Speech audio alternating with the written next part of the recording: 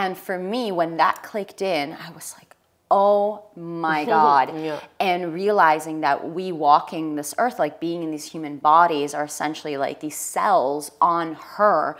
And everything that we are and everything that we do is, is in connection to her. How can I accept my inner winter and you know work with the blossoming of my inner spring and celebrate my summer and receive the lessons in my harvest? Welcome to It's Not What You Think, the podcast that takes you on a transformative journey to rewrite your story of greatness and reawaken your soul's purpose. I'm your host, Celinne Da Costa, a subconscious mind expert, master coach, and believer in the limitless power and magic that lives within all of us. My intention in this podcast is to propel you into your next level of success so that you are free to create the life that your heart most desires.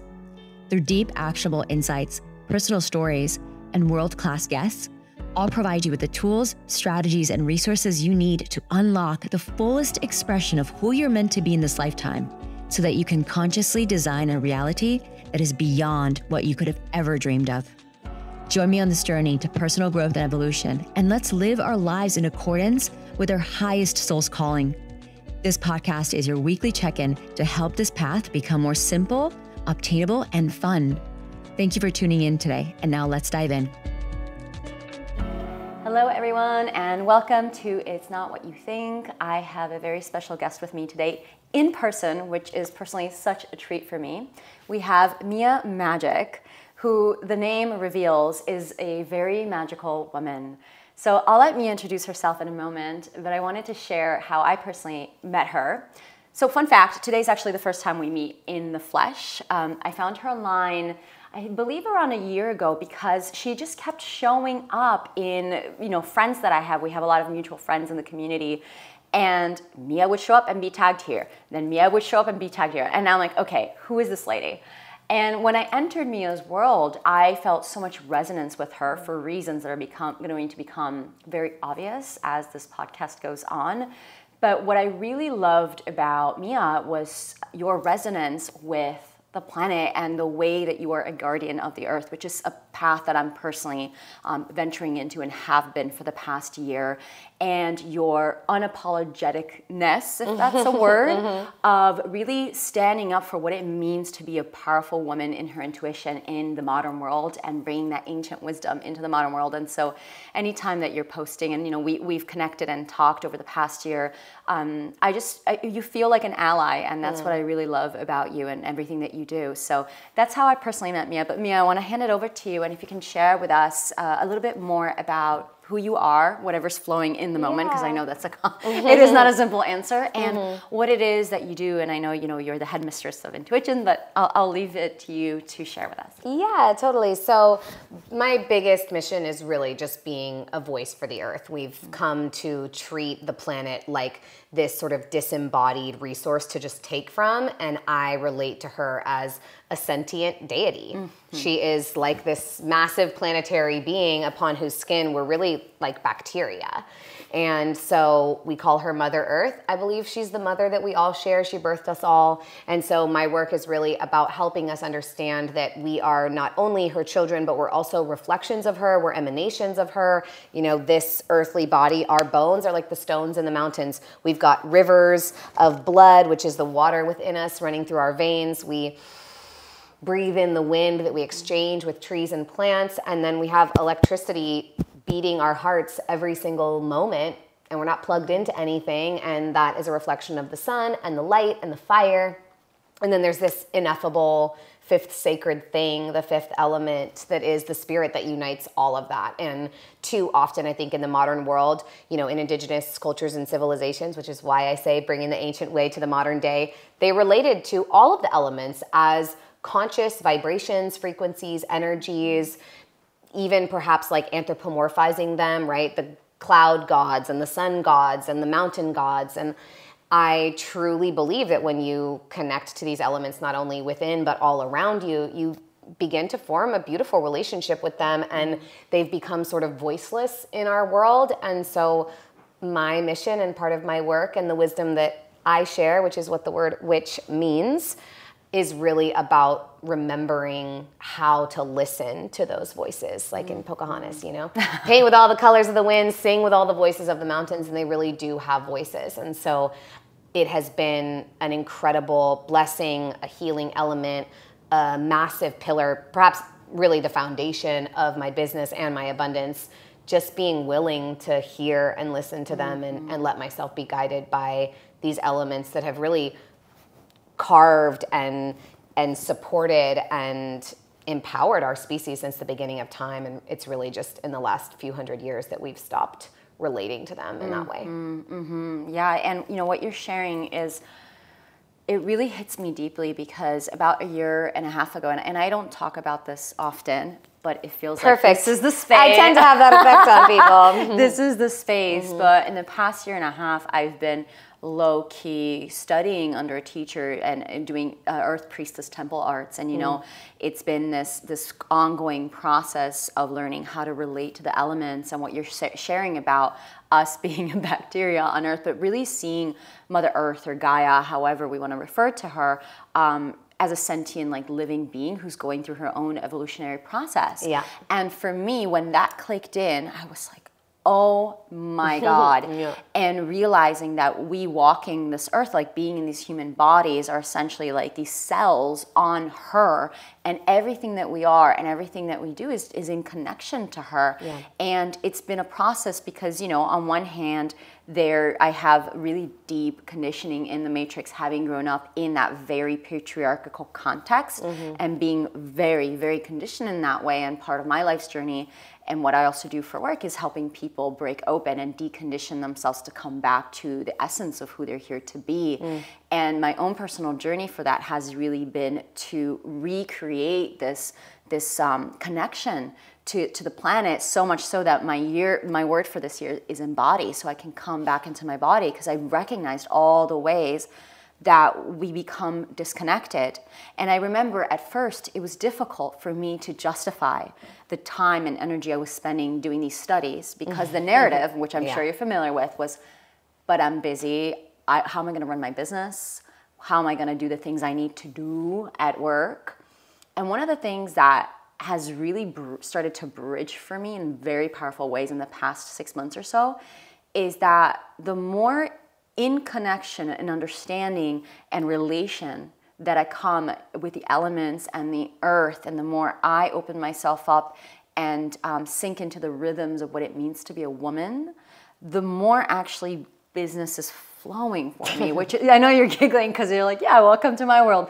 But it's been this space of, oh my God, I I couldn't think it because it's in the mental body. The mental body's like, this is ridiculous. This makes no sense. But my embodiment journey has shown me that actually the planet is my fountain of abundance. And I know you speak a lot about that and that you this is something that you, you know, you're not in and I know that this is something that you've got a lot of codes on. And um, I know when I coach clients and when I sit with them, this is almost always for a woman who's very ambitious, high performing, um, grown up in you know the, the patriarchy and the matrix almost always the biggest objection to i need to rest. I'm on my moon. I need to take time off is always but i can't because i need to do this this and that. So i'm curious if you could demystify for us um, what it actually means to be in abundance and prosperity as it relates to this guardianship of the earth that I believe, and I know you believe as well, each one of us has a responsibility to take care of this planet. How do we do this and, quote unquote, be successful um, in, in business? Well, there's so many channels we could go down, but the the main things are that one, nature is the ultimate expression of abundance. Oh, ultimate. oh, Yeah, the ultimate. There's nothing more abundant than nature. Her fruits, her flowers, her waters, all of it. So that's the first thing. And guess what nature does? She has cycles and seasons. She's got different weather. She's got a whole section of the year where in most places all the leaves fall off and nothing's growing and she's chilling literally and figuratively. She's not shaming herself. She's not like, "Oh my god, I'm such a fucking idiot. I shouldn't be resting right now. I can't believe I'm having winter. This is so horrible. What am I going to do? I better rush and hurry up and have spring." No. She's like, "It's winter. It's winter. And when I'm ready, I'll reemerge and new sprouts and new blossoms will rise mm. from me. And then when it's summer, I'm gonna be out and I'm gonna be hot and I'm gonna be sexy and I'm gonna play and I'm gonna do all these things. And then once I've learned all this new information from spring and from summer, wow, I'm gonna harvest that information. That's gonna become my wisdom. That's gonna become my new embodied power. Because it's not just knowledge, it's not just information. I'm harvesting those lessons. That's what the harvest season is for, right? These sort of last fruits, like some of our stone fruits and, and the squashes and the gourds and things that will carry us through the winter, mm. right? We can, we preserve, we make jams, and, and gourds and squash will last months all the way through the winter, carry us through.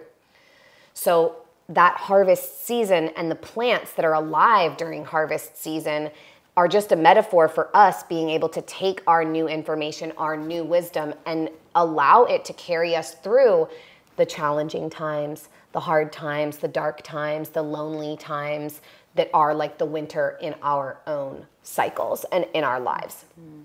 Now, the other thing is is that if you want to be truly successful, right? There's there's all different kinds of definitions of success. Some people's definition of success looks like living off grid with a dope community and just like growing their own food and having cool yurts and little dome earth ships and like hallelujah bless, right? Some people, it's like mansions and yachts and cars and whatever.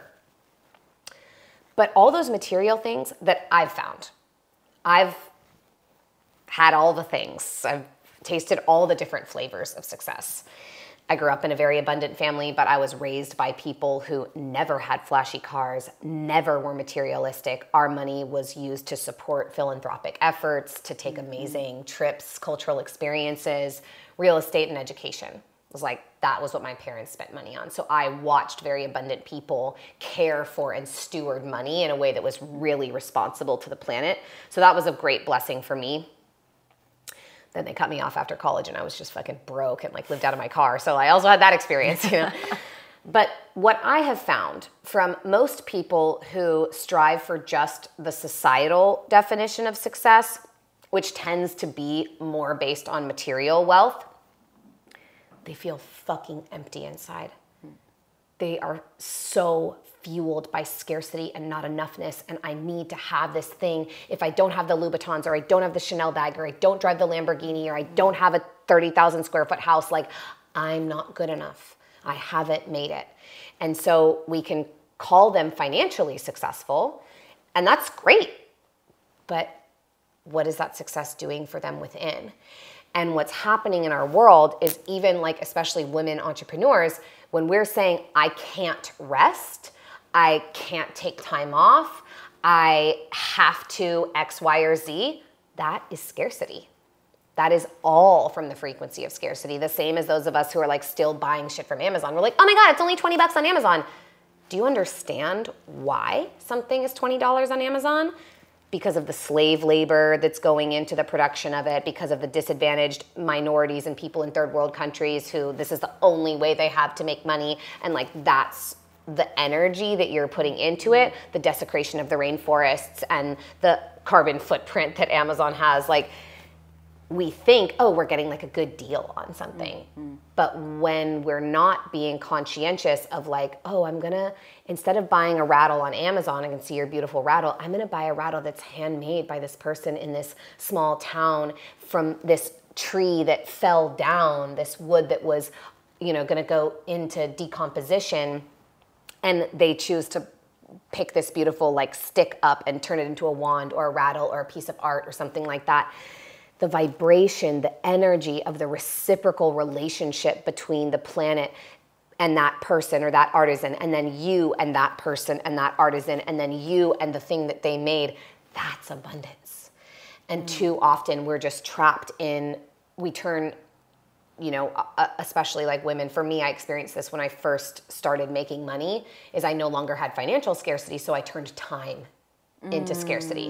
It's like, I don't have enough time, oh my God, I have to, blah, blah, blah, like, it's all scarcity. It's the same as abundance is a conscious vibration that you can attune to in the universe, that you can experience within yourself, you can align with and, and resonate with and operate from, just like scarcity you can have billions of dollars and feel scarcity within yourself all the time. Mm. And so that's a big piece that I work on with my clients is like how can I accept my inner winter and you know work with the blossoming of my inner spring and celebrate my summer and receive the lessons in my harvest.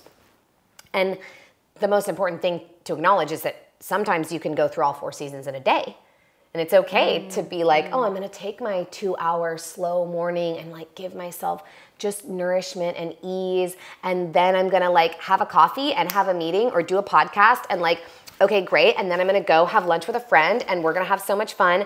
And then I'm gonna go home and I'm gonna like do a follow up with someone and I'm going to, you know, or I'm gonna journal or I'm gonna like make a beautiful meal for myself and my partner or we're gonna make love because I know that that's important and it grounds me. And then I'm gonna go to sleep and you can have a four season kind of day.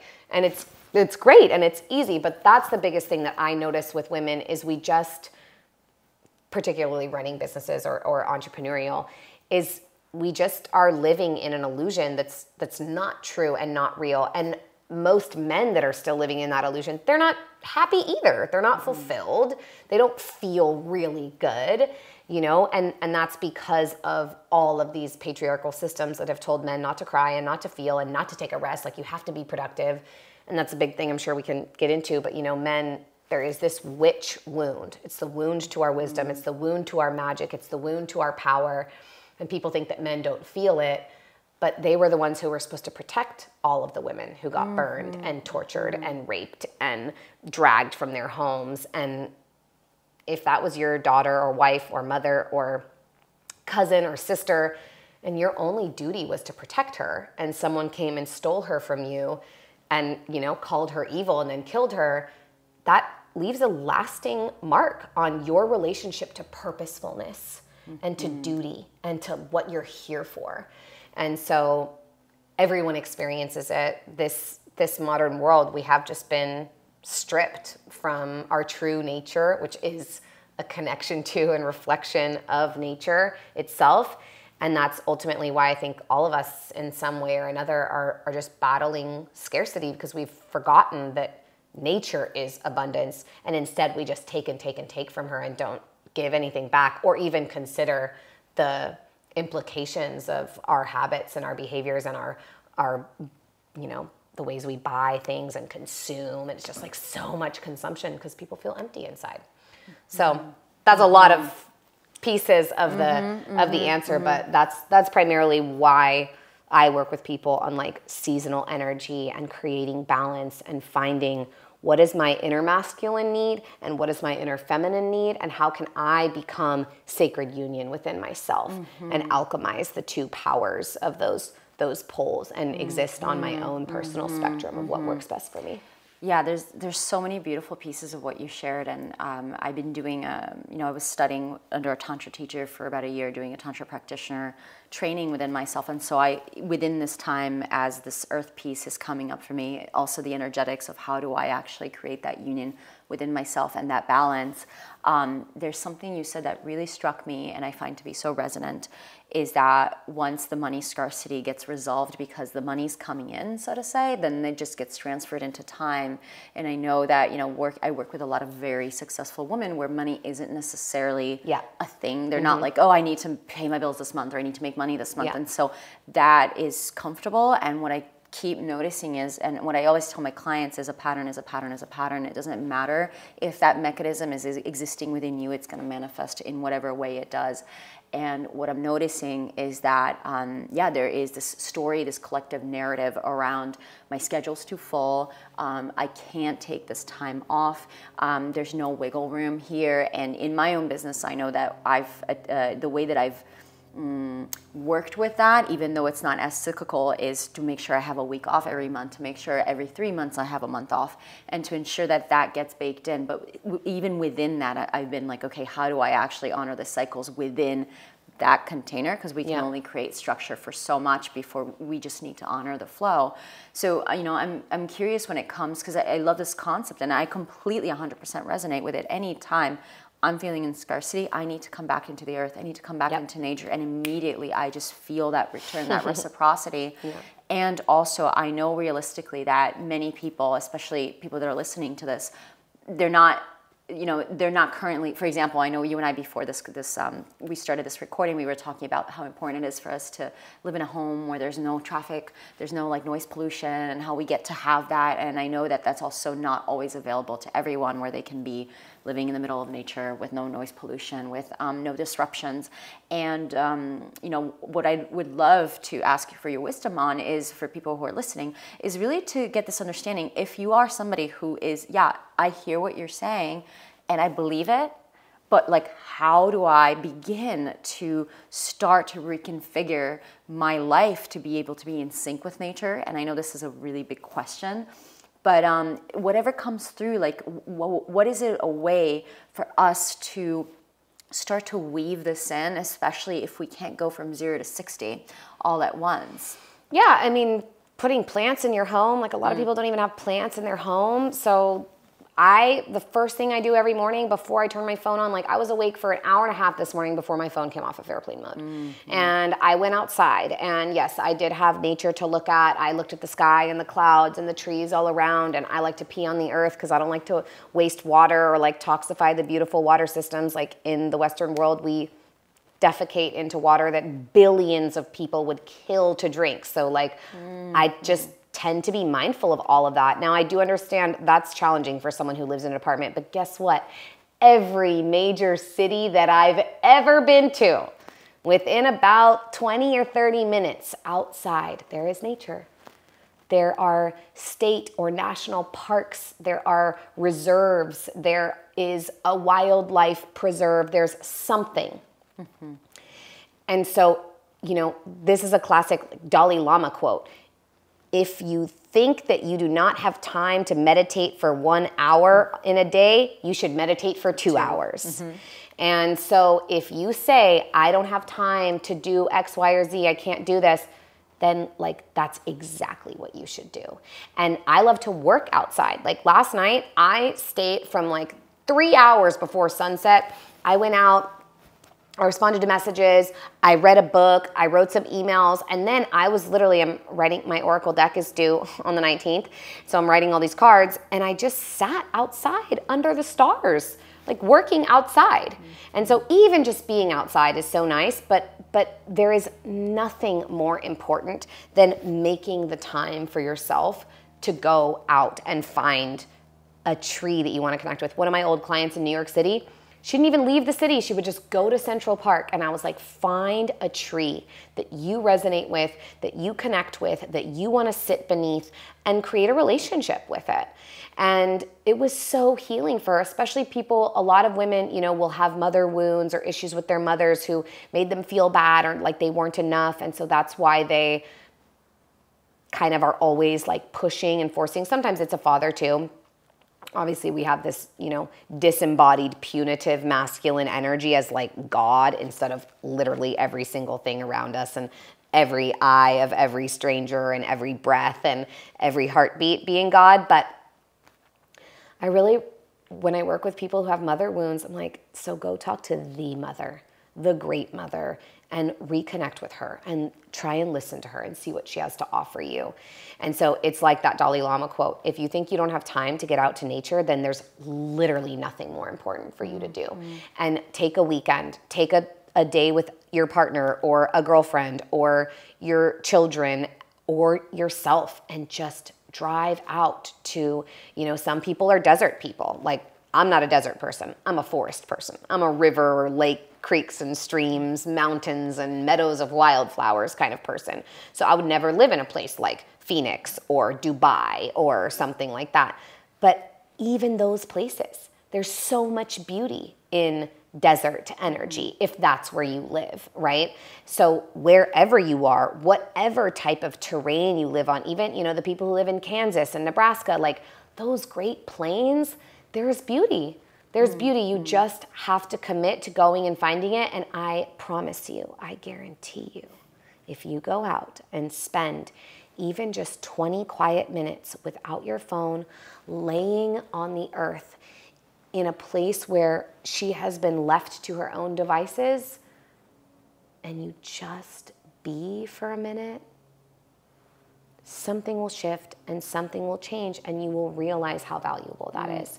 and then you will know that it is worth making the commitment and worth making the effort and and spending the time taking the time but really it's receiving the time right it's giving yourself permission to receive that sacred pause and that winter moment or like turning it into the spring or the celebration. Like I'm going to reward myself with an hour out in nature. You know, that's something that I do so often. It's like, oh, okay, I got my little things done. Like I'm going out, you know? Mm-hmm. And so I think that that's those are great ways to start. Understand that you are the elements. Put plants in your home. Don't turn your phone on first thing in the morning. Maybe even don't sleep with your phone in your bedroom. And then when you wake up, I'm like looking at the little plant here. Even if you don't have access to nature, just looking at something green and alive, not like a fake plant, but like a living plant as the first thing that you look at in the morning can help you remember your connection to nature. It's got veins running through it, just like you do. It's sourcing itself from the sun, just like we do. It's connected to the earth through roots, just like our little toes. And so, those very, very simple ways of just remembering that we're part of nature can be so nourishing and so transformative that then you do remember mm-hmm. more of your inner abundance and can therefore receive the gift of that time mm-hmm. and, and make it a priority. Mm-hmm. And I love that reframe of it's not about you not having time, it's about you creating time to receive yeah. the gift of time. And I know that part of my personal practice and something that I encourage my clients as well, especially those who are like in big corporate settings, it's like just take 15 minutes, take your socks off, and go in the grass yeah. and just receive from the grass. And you know, one of the things that, well, here maybe it's not as easy when I'm traveling, but when I'm in Bali um, and my office is just 10 steps from, from the grass, I will frequently go in my 15 minute breaks and I will just get my womb on the earth and I'll just breathe yep. and just lay face down on the earth, like just yes. giving my stress, giving whatever's not like conducive in my body, I just give it back to the earth and she receives it and she supports. And, yep. um, and you know, one of the things that I love about this newfound relationship that I am creating with the earth as well is just the amount of just infinite compassion of this being. I mean, it, it like has brought me to my knees many, oh, many yeah. times. Just how much she continues to give and to give and to give and to model for us what unconditional love looks and feels like. You know, and and whenever I'm feeling okay, I'm really stressed or like there's a lot going on, and I just lay there, I can just feel her going like, give it to me, sweetie. Like, I've yeah. got you, you know? And there's been so many times, even in ceremony, where I'm like, I can't do this. And I will literally just, as I remember one specific time in ceremony, where I'm like, I can't. And I had to leave it, and I was just face planted onto the grass, just feeling her breathe life back into me yeah. and like take the burdens, you know? Yeah. And, and so, it's really important and to not only to receive from her but to be in a, a symbiotic relationship with this planet. And I'm realizing even as I make decisions in my business and I think about how do I want to distribute profit? How do I want to grow this company? Um, there's now that thinking of how do we make this sustainable and how can I give back to the community? How can I give back to the planet as I grow in my abundance? How do I infuse it back in? And it is a learning curve. I, I, I must admit that totally. for somebody who didn't grow up with that um, yeah. with that template it is something like learning new information, but yeah. it is so important, I believe, in the current state that we're in, in the planet, in business, both women and men, that we must find ways to expand and grow in um, harmony and in sustainability to the planet. Because yeah. the more we do that, I believe our abundance is absolutely infinite, and the way we can prosper sure. and expand in like in allies as allies with Gaia is just absolutely infinite and beyond what our mind can comprehend. So, and that's the yeah. wholeness of abundance. That's mm-hmm. the beyond the financial prosperity. Like we will feel better as a species. Look at the epidemics of obesity and children on all of these crazy medications and suicide mm-hmm. and child abuse and like depression, anxiety, like all of these things.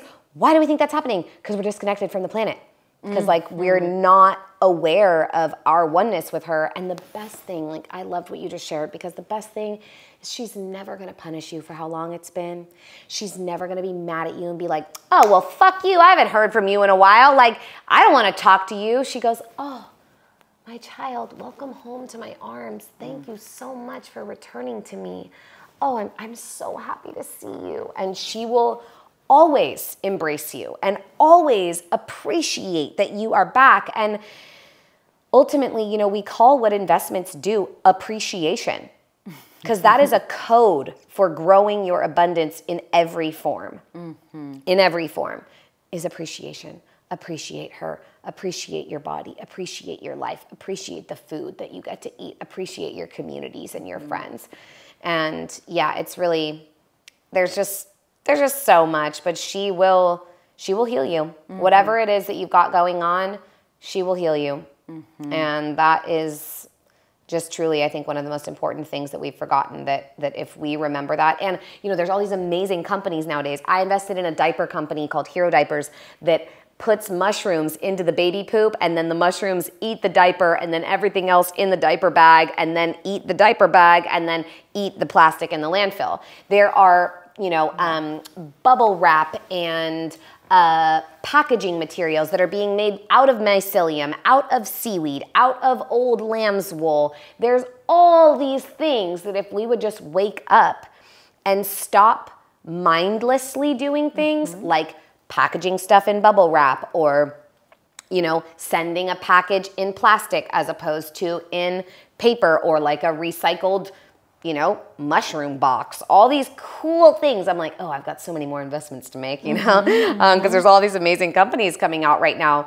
We just have to shift our way of doing things. Mm-hmm. And we have to acknowledge that spending a little bit more money, because money is only one form of energy, one form of currency, one form of abundance, when we are willing to place resources or financial abundance in alignment with our values mm-hmm. and we use that word value as something that like we feel like is important. It's not again not just a financial value. It's like oh my values are sustainability harmony with the planet. And so when we speak to and embody our values with what we do with our money then those things become more valuable and they become mm-hmm. more important and more people begin to value them because we're, you know, as a microcosm, right? If you look at the holographic universe and the quantum nature of reality, it's like I'm the only one here.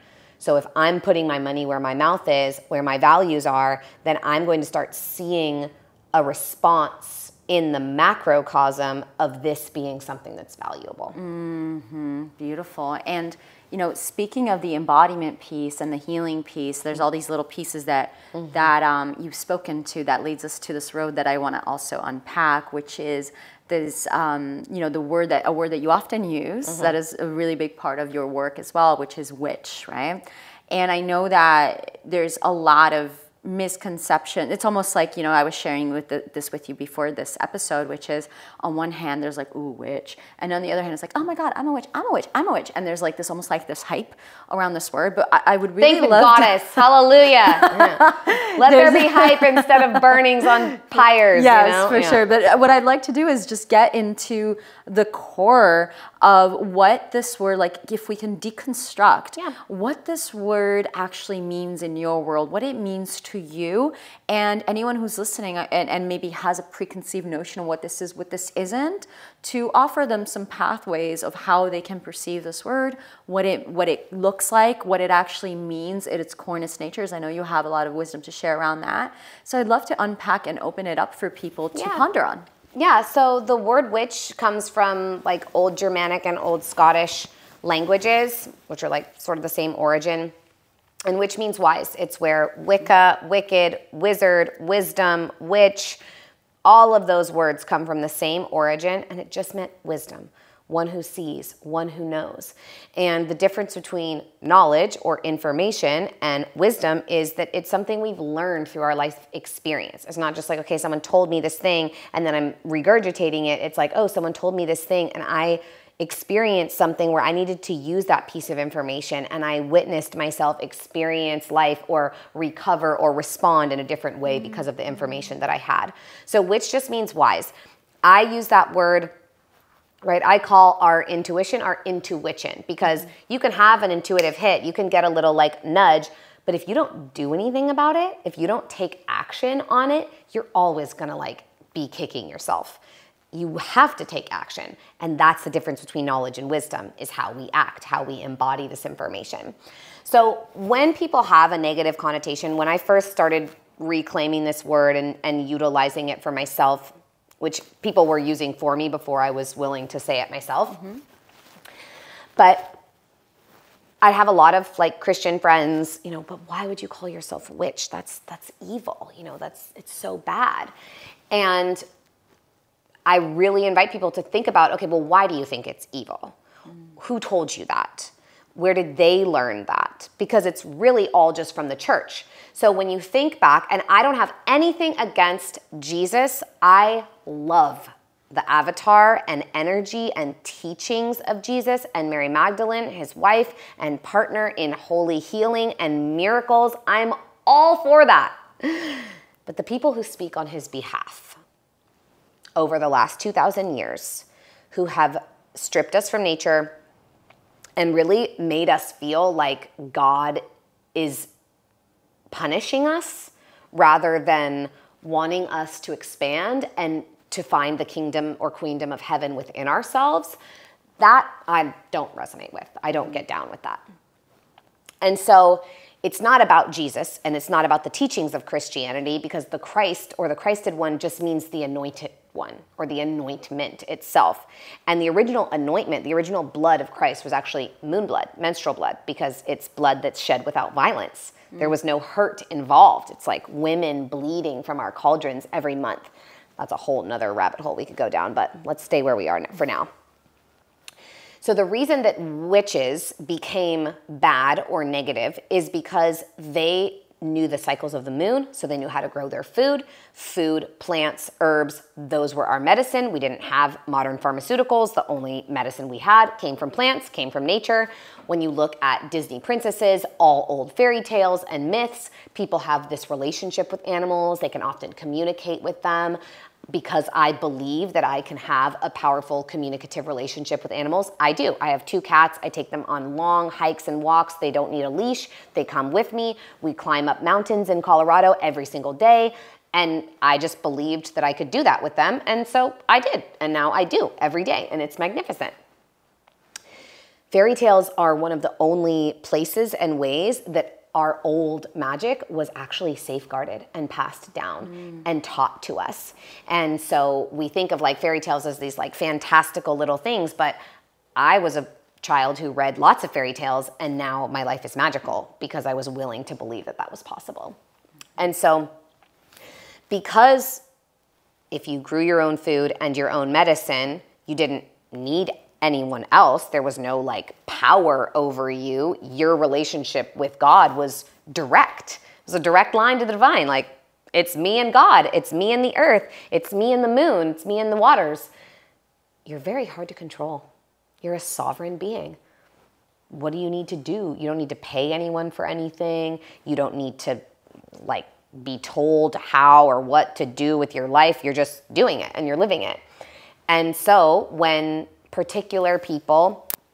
There's a lot of history we could go in. Like Emperor Constantine was a huge uh, shift in time, like in the early 300s of the current era in the Roman Empire, when he was originally like, hey, polytheistic Roman Empire, right? Like giant pantheon of gods we're going to be kind to the christians. We're going to we're going to welcome them. By the end of his rule like 35 years later he'd completely shifted and changed his tune and had been bought out by the christians. There's like all this evidence of corruption. Again we could go so much deeper into it but so he'd been he'd been bribed basically by this new religion and started confiscating old temples and beautiful places of worship that had once been for the, all of the Roman gods and even like the lineage of Caesars, of, of emperors, of rulers in Rome are said to have come directly from Venus. They are meant to be her descendants, like from the goddess herself. And so they began just taking over all these temples. And originally it was like, oh, let's give them to the Christians so that they have a place to worship.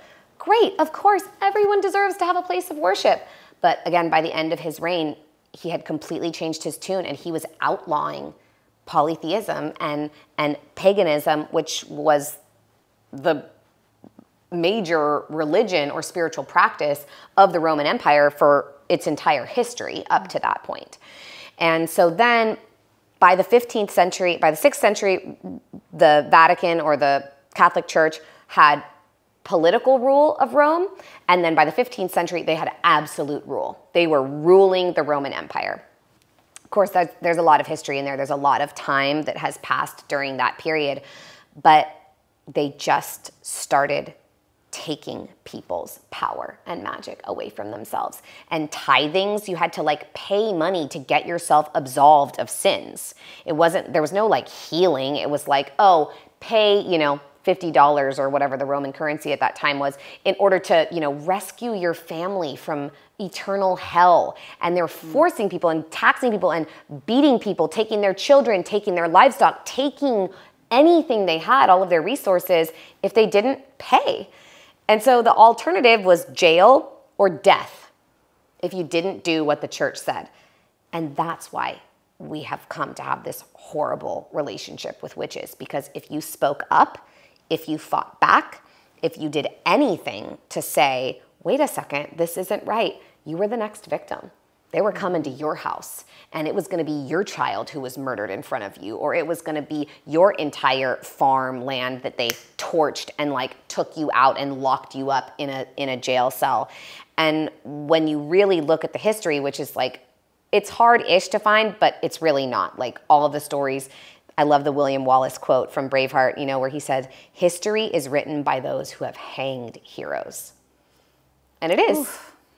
And so that's why we think that witches are bad when really we're all witches. We're all wise people. We all have intuition. We all have psychic gifts and abilities. They've just been stripped from us. We all feel those little nudges, that little pull in your gut of something that says, oh, wait, like I should go here, I should go there. But we've been trained not to listen to it. We're not supposed to listen to it because it's evil or it's bad or it's wrong because that's what keeps us powerless and that's what keeps us easily manipulated and that's what keeps us buying and consuming and like trying to fill the void that is just a vacuum of power our own eternal infinite power that comes from the earth and from the sun and from the wind and from a connection to those elements and so again wisdom is just embodied life experience. And so everyone is a witch. Everyone, every single person on the planet, no matter your gender or your color or your shape or where you're from. And, you know, shamans, priestesses, curanderas, everybody, they're all just operating from their experience of wisdom and what that means and looks mm-hmm. like. And so I think it's a it's a beautiful opportunity now in this time to be reclaiming this word because why would we want our wisdom taken from us? Why would we want imagine like witches were the healers, they were the doctors. Imagine if all of a sudden we were like, oh my God, all the doctors are so evil. Like, lock up the doctors, burn all the doctors. Like, we cannot have doctors here ever again. Like, doctors are the worst thing ever. Everyone would be like, what the fuck? So the only way you could perpetuate an idea that is that outrageous is through violence. Mm. And like look at the crusades, you know, the Christian crusades in like the 1300s. Look what was done with the Cathars, the people who were continuing the lineage of Mary Magdalene and Jesus's mm-hmm. teachings. They were like holding true to what Jesus had taught. They were, you know, and we call them Christians now because they were. They were like holding the true teachings of the kingdom of heaven is within you. Love thy neighbor as yourself all of these beautiful, like more esoteric spiritual teachings that those of us who read anything in this modern day, we see it and it's very obvious. Those are, you know, Gnostic, Christian, mystic teachings that were changed by the people who took over and just got greedy and just wanted money and wanted to rule. Like, you look at all the gold in the Vatican, guess where that came from? Raping and pillaging and pilfering South America. And we colonized the whole world and outlawed hula and outlawed dialects and languages. It was done most recently to the First Nations people of the Americas, right? And especially like in North America, that happened so much later. The reservations, these awful schools, like you can't speak your language. I mean, it's so obvious that it's filled and fueled by hatred and pain and, and inner anguish, right? It's only hurt people who hurt people like that. It's people who mm-hmm. feel empty or not enough that would do that to someone else instead of being like, oh, I'm happy with myself. So if you're happy with yourself and you like your spiritual practice, you just keep on doing your thing. It's so obvious. Like, if you're good within yourself, you don't ever need to call anyone else evil or like attack the way that they're doing their thing. You're like, I'm good. Mm-hmm. I'm okay. And so to me, it just seems, so, and it always was from the time I was a little girl, even when we would go to church, I just didn't understand why there was this attack on other people. That never made sense to me. And and so like more and more as I grew up, my my family, we it was like nature was the temple. And I've experienced even being in places like Bali where they, you know, I was all wrapped up. I thought I was good. And they were like, nope, you get out, get out of here. You can't be in this temple. Go, go, go, go, go, go, go. And this big, beautiful mango tree, like one of those huge mango trees, I walked out and she said, Come here to me, child. I will be your temple and you are always welcome here. You know, mm-hmm. because that's how it's meant to be. That's how a relationship to God, to nature is meant to be. We're, we all are welcome, or else we wouldn't have been created. We wouldn't be here. And so to me, the opportunity is really to look at the fact that the evilness of witch, which means wisdom, the evilness of wisdom, even like the tree of knowledge, right? Like eating the apple, being tempted by seeing yourself as God by knowing your Kundalini serpentine energy and the power inside of you and your pussy and your womb and your spine and you know the energetic womb within men and, and non-binary people. It's all just so obvious. It's right here in front of our faces, but we've just been prevented from talking about seeing the truth. Mm-hmm. You know, as you're speaking, one of the things that really comes up for me um, is so I, I was born in Rome, just a stone's toss from wow. the Vatican, and um, obviously raised Roman Catholic, you know, and, wow. and, and, again, even when I go back to Italy, which is one of my home bases, since, mm. since that's where I'm originally from, even where I stay now is still within the energetic field of the Vatican. So it's, it's really interesting because even when I'm, I'm in the apartment, I'm like, oh, I can feel like the shockwaves mm, mm. that, that are coming from, from that space. It's very strong. And one of the things that I remember, like growing up Roman Catholic, and there's a certain very heavy conditioning, and being 14 years old and just being telling my mom, I'm not, I'm not this, I'm not this, I can't do it, I won't do it. And intuitively, I just knew that I couldn't it was so strong in me and as a 14 year old i had no idea but i, I just knew that it, it couldn't identify with that. And you know in this work that we do when, when we're going through our awakening it's really around seeing the layers in which we've been conditioned both personal familial societal and cultural. And many times i've needed to come face to face with um, this this this part of me you know yeah. this part that is that you know you catch yourself in these moments where you're not even questioning something or you're like oh yeah it's this way because it is this way. And then someone's like but is it though? You know? And then you wake up and you realize wait hold on. I was taking this for granted. And i know you know for myself it's this this um it, this this stripping away that is so deeply embedded in our culture and i feel close to it just because of where I was born and um, of the ancestry that I carry in my veins. And, um, you know, what, what, you're saying around the kingdom within and just this constant externalization of who we are, like outside. God is not here, it's out there. Yeah. Um, you know, your heaven is not here, it's over there after you die.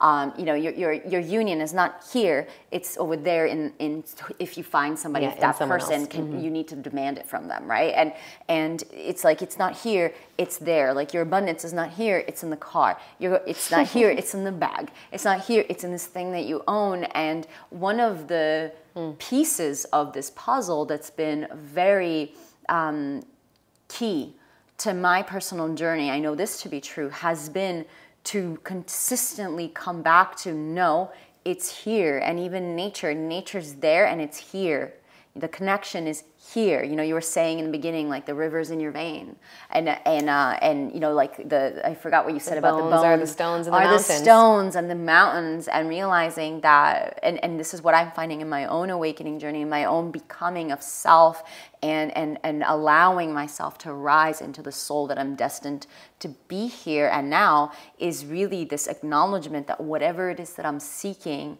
is here and it's seeking me here and now. And so it's it's really beautiful to to hear that because even though there's a lot of tragedy and there's a lot of pain and there's a lot of anguish was the word that you shared with us that that comes from this externalization and this like separation that we've experienced of our own power.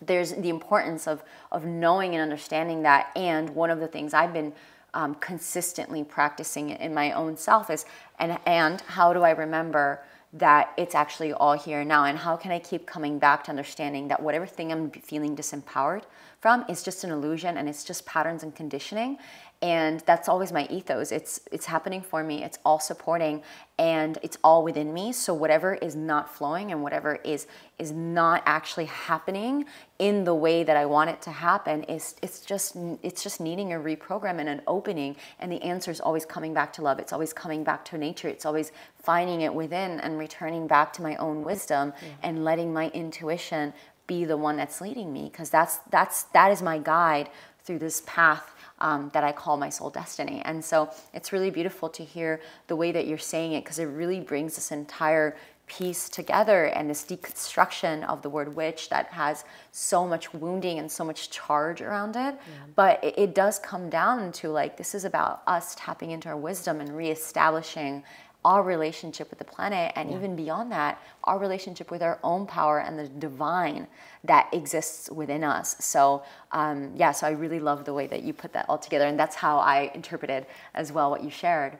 So with um, all that said there's something else that i really wanted to to discuss with you and i know that we were talking about offline and you know part of this episode is that guests have the option to come in and receive some laser coaching and for us to like deconstruct certain things that might be um, needing more attention or, or like just basically anything that might be sticky that can be open and show people what it really looks like to work through that in real time.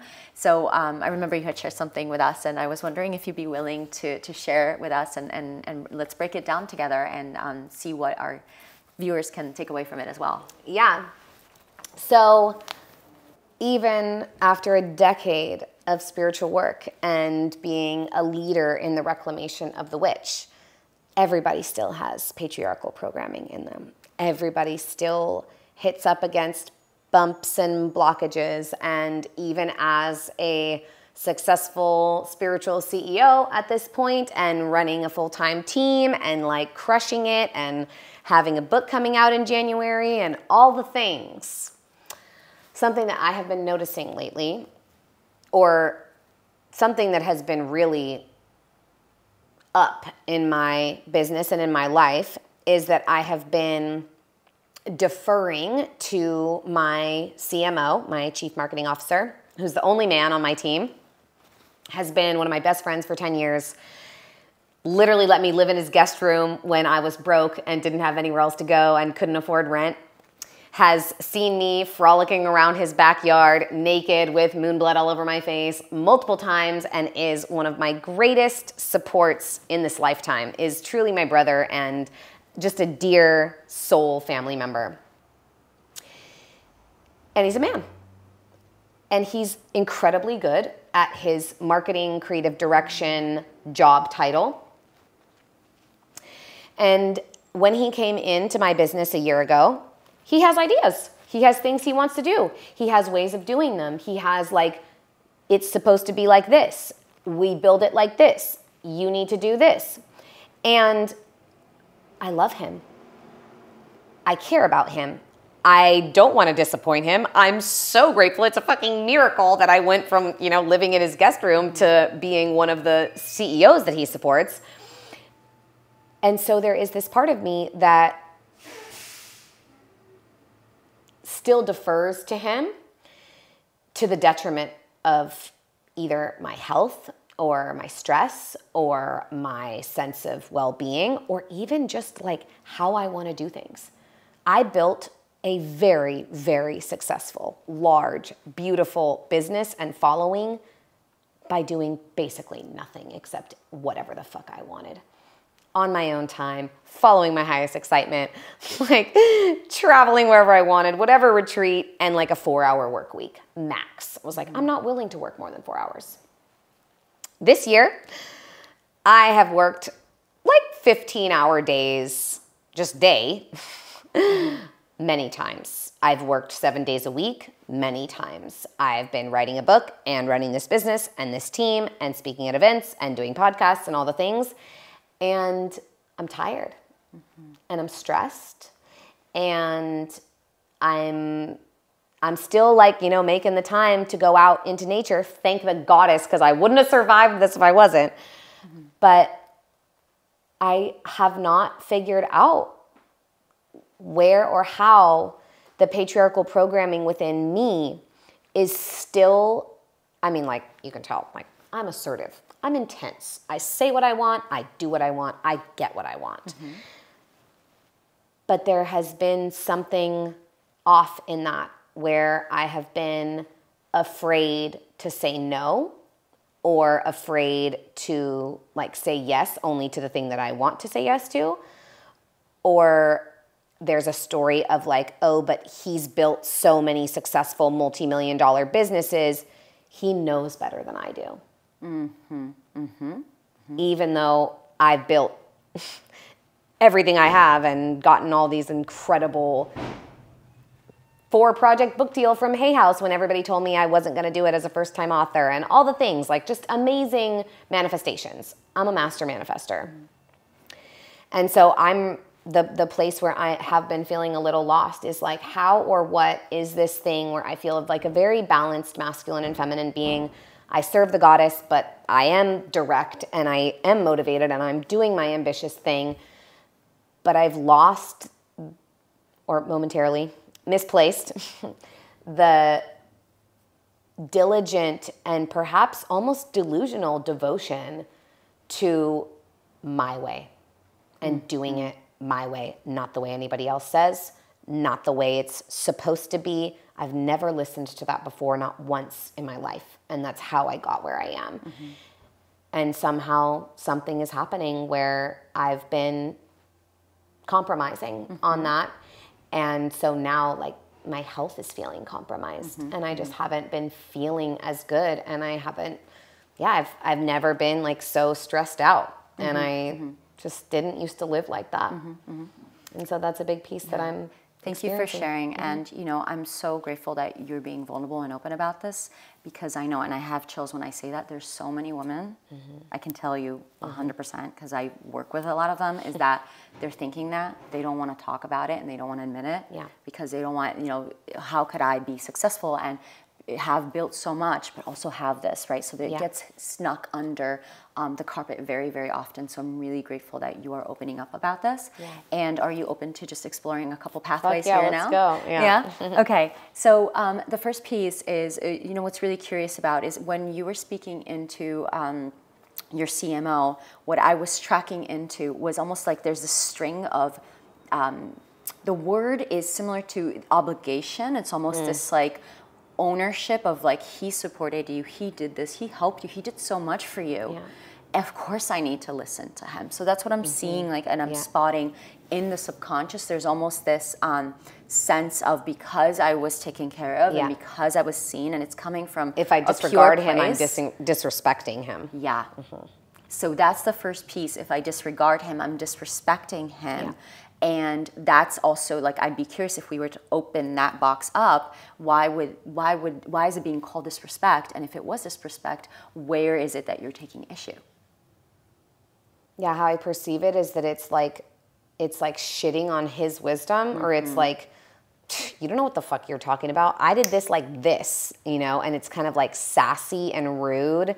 Mm-hmm as opposed to deeply appreciative and reverent, which is what he deserves. And even though like I had a conversation with him and I said like I don't want to disappoint you and he's like Mia like I'm here for you and for this because I believe in you and I believe in your message and I believe in what you're doing like I love mm. you and I'm there for you no matter what I want this business to be successful. And so I know that I wouldn't disappoint him. But I, yeah, I think it's the deeper piece is like, well, I don't know. Like, I don't know. What never- don't you know? I've never run a million dollar business before. Like I was a little broke mm. hippie, like fluffing around, you know, just like mm-hmm.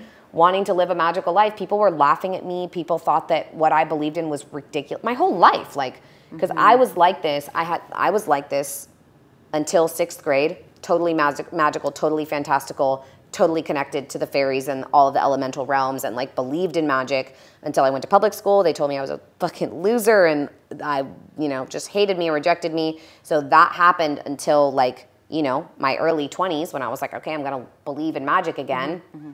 and like saved my own life, thank the goddess. And then over the last decade, I've just been believing in magic more and more and more. But there is this part of me that, yeah, what I can feel right now coming up is like, well, he must know better than me because mm-hmm. how could I know? Because I've never run a business before. And I built this business on like candle spells and sex magic and spending time in nature. Like, mm-hmm.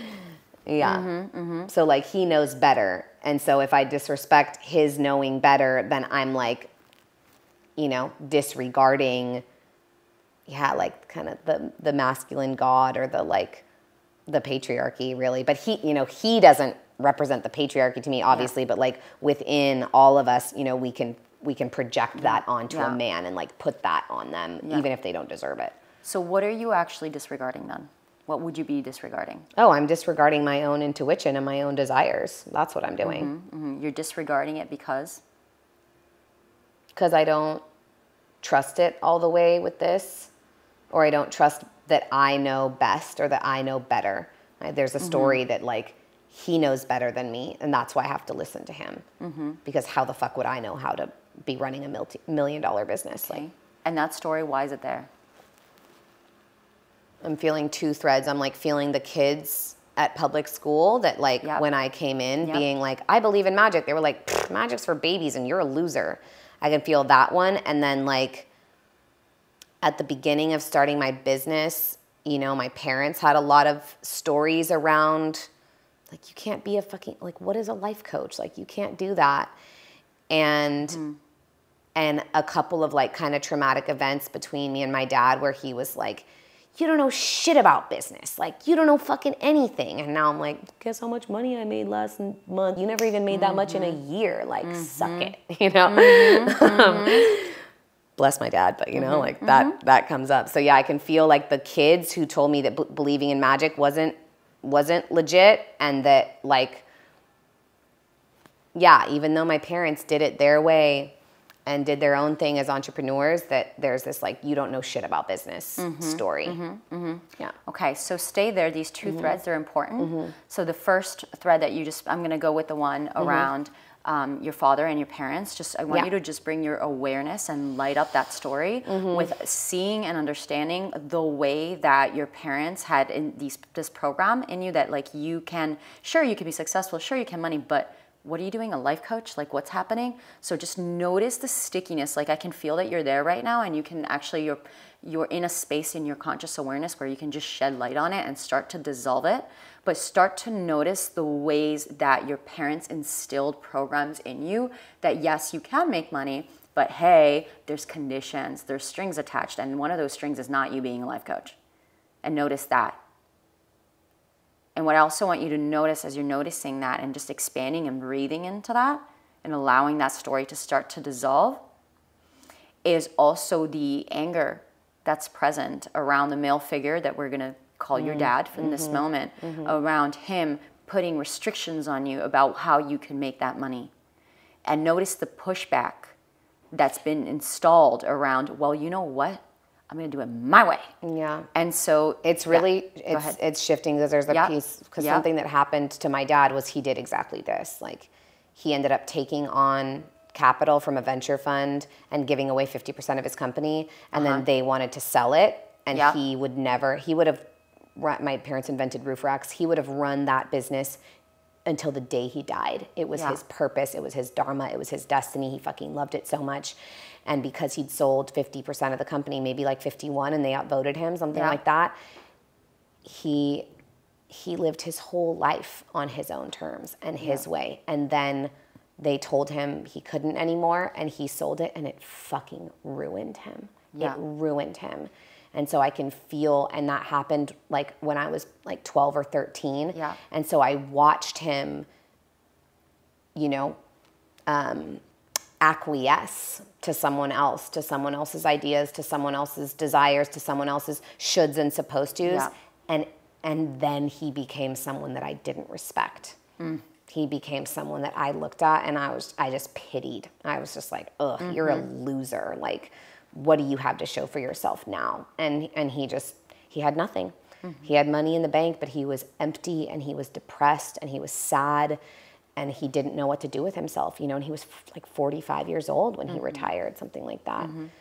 And yeah, and I was like disgusted with that. So I can feel this like simultaneous, you know, he was sort of telling me that I didn't know anything about business, but then I watched him lose track of what he did know, which was like to always follow his gut and mm-hmm. always follow his intuition and always do it his way because he was so successful doing it his way and then doing it anyone else's way is what is what took all of his dreams from him. Mm-hmm. And that was disappointing and that was like repulsive, you mm-hmm. know. So notice how the sequence of his experience and him and this pain that happened in his life then got transferred into you as you cannot. Right? And him, what you're saying, him saying no to his soul dharma and uh, receiving the consequences of that. Notice how that translated into a man who may, might, you know, this big thing happened, didn't have the tools, didn't have the capacity, didn't know how to deal with it.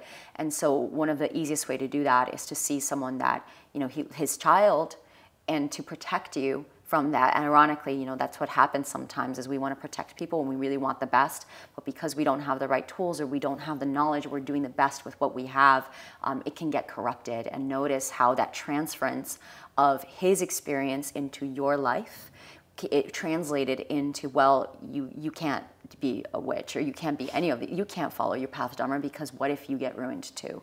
Oof. right? You feel that?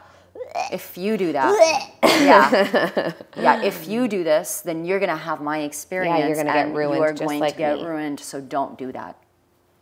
So can you feel that? Can you track that? And you know, I don't know anything of your relationship with your dad, and we don't have to open it here.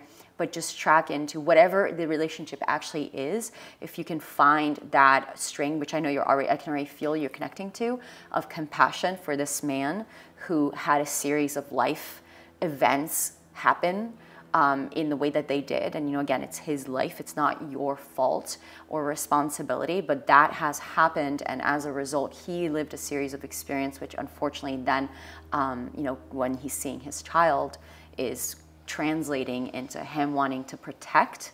But not in the way that is empowering you. It's in a way that's disempowering you. And what I want you also to bring your attention to is you use the word respect again, right? And respect and disrespect is the exact word that's coming up when it comes to your CMO as well. So just keep um, note of that and keep tracking that.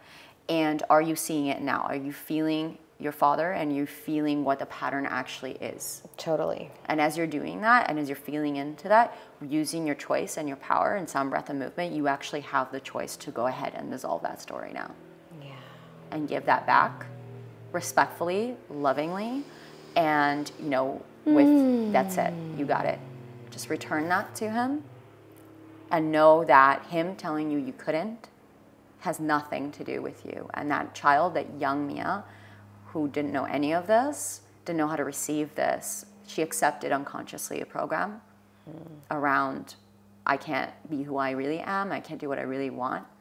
And there was a and here's what I want you to feel into as well.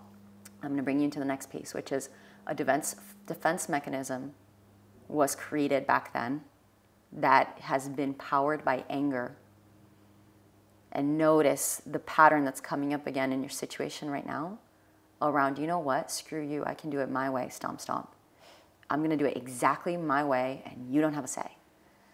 And now, here's what's important to be present with you can do it your way. It's not mutually exclusive. It can be your way. It can be magically exactly your way. And I want you to just take notice of the shadow side that gets really reactive and angry when a man comes in, tries to tell you you can't do it a certain way, and then wants to fight back. So just bringing awareness of that because it is creating a separation within you that doesn't need to be exist to exist. It's creating an illusion of you either do it your way or you listen to a man. And then you, you get to have the results that you want because he has certain results, and that's the patriarchy. Mm. But can we start to open that space within you that I can feel you're connecting into? Opening up that space to the possibility and potentiality that you can do it your way and there's space for masculine structure and love and guidance and you always get to choose whether you're going to take it or not and mm. it is mm. never at the detriment of you mm-hmm. there's so much value and wisdom in in in the male wisdom and the male and you you don't have to take all of it mm-hmm. and you definitely don't need to accept the projections and you definitely do not need to take if there's an obligation that you have created that's being attached, because that creates a cord that does not need to be there. Mm-hmm. So, as you're feeling into all of that, there's one more piece, but bef- as you're feeling into all of that, what is rearranging itself for you? Oh, I mean, just the whole narrative, like seeing, like he, him yelling it, it wasn't so much you can't, but it was the you don't know shit about business thing, like him saying that to me. Yeah. That was just him like yelling at himself mm-hmm.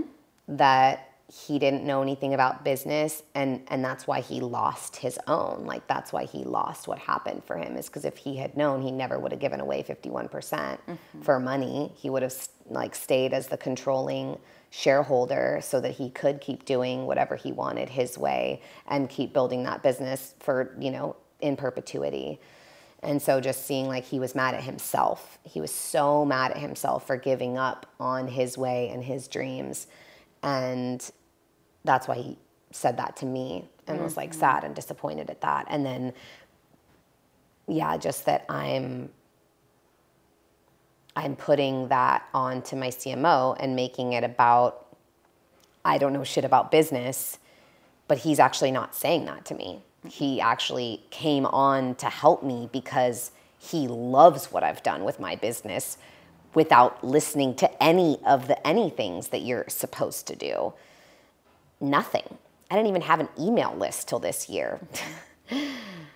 And yeah, just seeing the way that I allowed that story to inform the dynamic between the two of us, whereas like I built everything I have by doing it my way. And that that's what my, yeah, my dad was just trying to protect me from, mm-hmm. from losing everything because he put his identity into his business. Mm-hmm. And I like, my business is literally my name. It's I am my brand. And so I'm even more deeply invested in it as a in personally and he just wanted to protect me from yeah the the the anguish mm. and the despair that he felt when he lost like his creation his legacy mm-hmm. and mm-hmm. and yeah and he saw us stop respecting him so much and he saw his community stop respecting him so much and he saw you know friends disappear and yeah, he he and ultimately he just didn't respect himself anymore. Mm, mm-hmm. And the empath in you and the lover in you saw that and mm-hmm. felt that and felt the pain in his heart for not having the, the respect. And I can see that even with this current CMO, how important it is for you to have him feel respected because you feel in your heart the pain of a man who has gone through that. Yeah. Oh, dagger. Yes. Yeah. So true. The pain of a man who's gone through that and is walking a life feeling like he's dis- he's disrespecting himself and being disrespected by the people whose respect he most wishes for. You know that pain. You have felt it empathically right? And so with this I watched man, it. I yeah, you finished high school with it in the house you every day. You watched it happen. You watched that this, this disintegration happen, and so there is that part of you that so deeply wants to ensure that your CMO remains feeling respected because you don't want to put him through that pain. Mm. And so that's creating a heightened level of sensitivity when it comes to working with him. Mm. So now that you're seeing this pattern, you can go ahead and you can give that back mm-hmm. in love and compassion. And there's one more piece here, which is the second story and the second string that you picked up on, which is that young Mia, mm-hmm. who was such a magical beautiful like fairy creature. Creature. yeah, fairy creature. I see her here and now with us. Um, this beautiful little fairy creature that is like straight out of like you know um, what's it, Snow White, and uh, and um, just seeing her more like go, Pocahontas. Pocahontas. Okay. Pocahontas. we'll, we'll, give you Pocahontas, okay, and thanks. then just seeing her go through the pain of being plugged into a patriarchal system and basically having her magic stripped away from her and part of your passion and your purpose and the way why you understand this so intimately is because of the way that it happened to you and the way you've had to reclaim yourself to remember your magic again is part of what makes you so amazing. And it's part of what you allows you to be able to give that to people is because you had to build it back up every block. And what i just want to bring your attention to here is not just the, the, the rebuilding which is something that is something to be so deeply proud of, but also the, the rage and the grief that came with y'all stripped me of this. Mm. Screw you. I'm going to show you what I can do. And I'm going to build this business my way, stomp, stomp.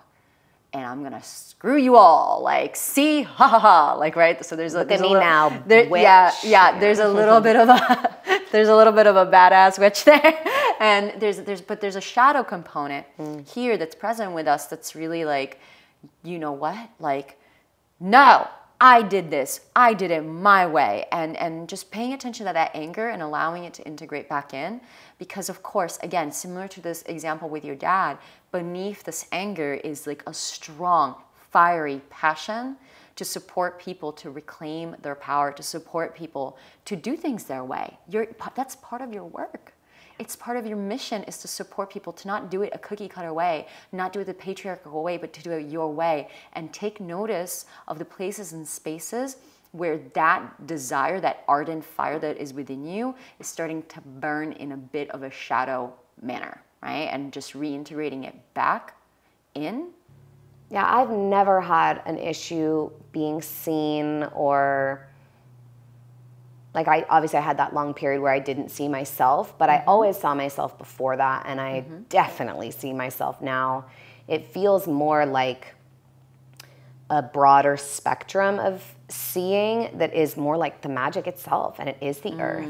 It's more like how can people not fucking see this? Mm-hmm. How can I be sitting next to grown adults in first class on an airplane who are playing fucking Angry Birds and Candy Crush for an entire five hour flight? Like, that's where the fuck you, you idiots. Like, I can feel that, like, kind of evil queen energy. Mm-hmm. Like, she just wants to vaporize those people. Like, then get off this planet if you can't mm-hmm. see how beautiful she is. You know, mm-hmm, like mm-hmm. people who fly the entire flight without looking out at the clouds or the stars or the land beneath them. Like, I've been flying, you know, five or six times a month lately. And so I just, I've seen a lot of zombies. Mm-hmm. And, and those were the people that made fun of me and didn't mm. and it wasn't about seeing me it was about seeing the magic itself the magic of life the magic of nature the magic of the elements the magic that they too had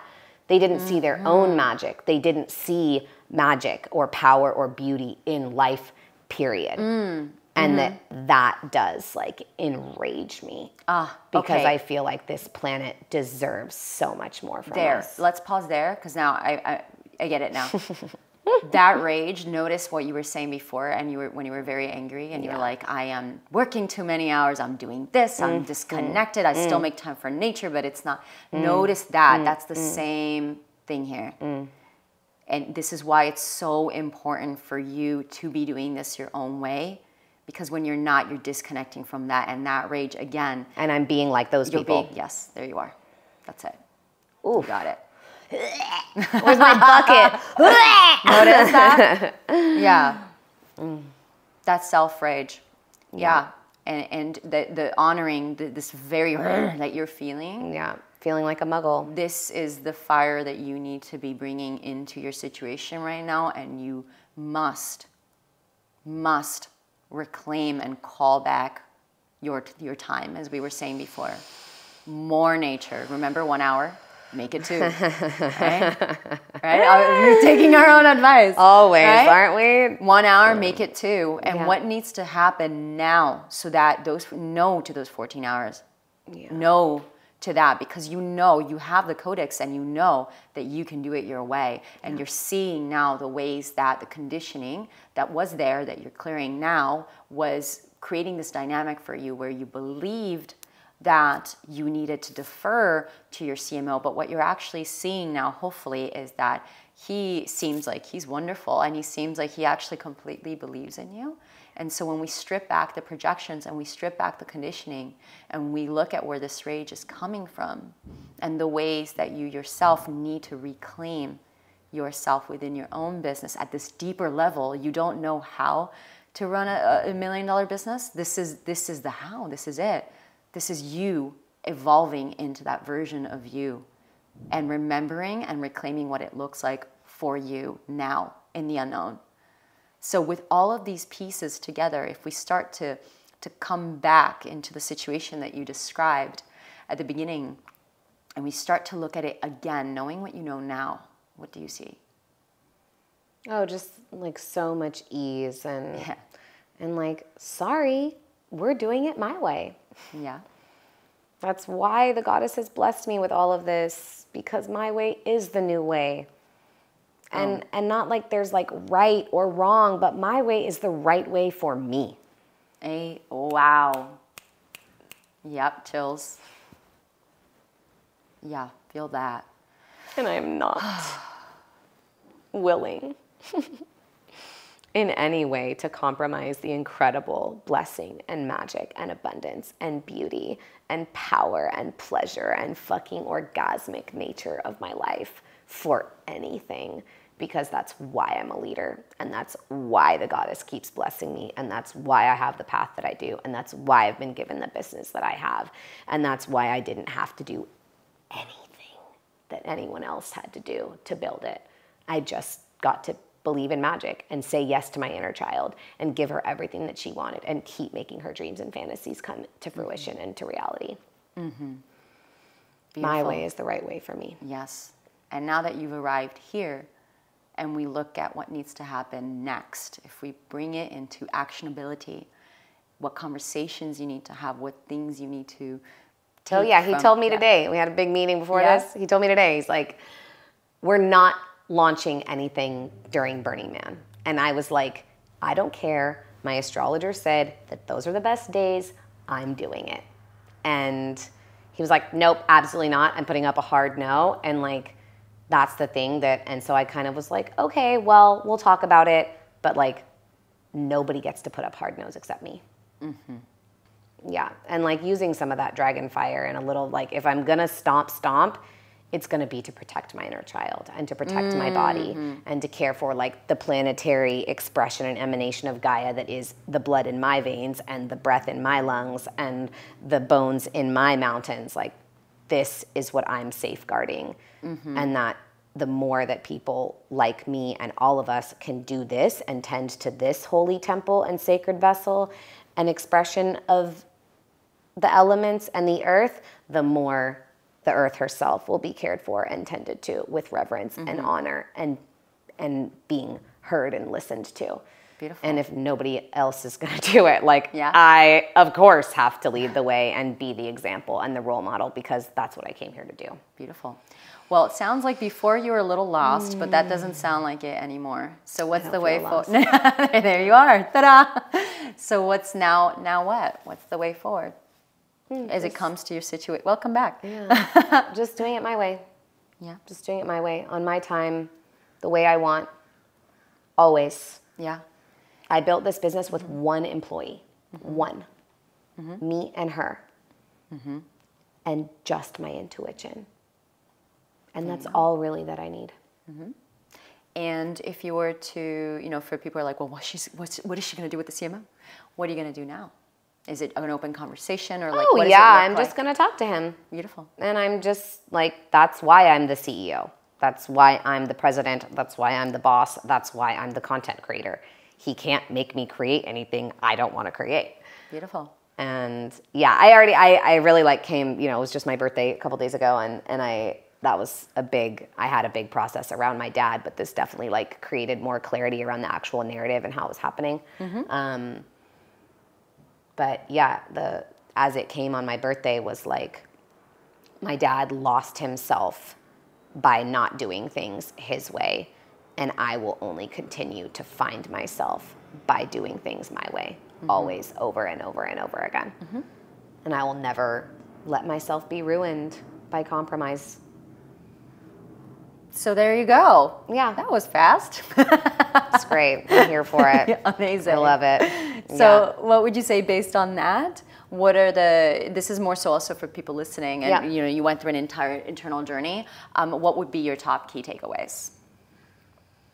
I mean, pretty much just the things that I've said. I like, you know, like you said, the one hour versus, you know, two hours in nature. Like, the only thing I can do really is it's not like going back, but it does feel like bringing forward into my time now into like being a spiritual CEO as opposed to like a broke hippie who was like trying to use these practices to to change and heal and transform now that I am who I wanted to be and who I can like show my inner child and visions. I like show her my life and I show her all the things we're doing. I'm like, look at this. She's like, oh my fucking god it. She's like loses her shit. She's so excited. It's- I'm literally her dreams come true it's really just a matter of bringing the practices that got me here forward and instead of thinking that i need to change more and like do the business stuff to be surviving or continuing to create and grow from this point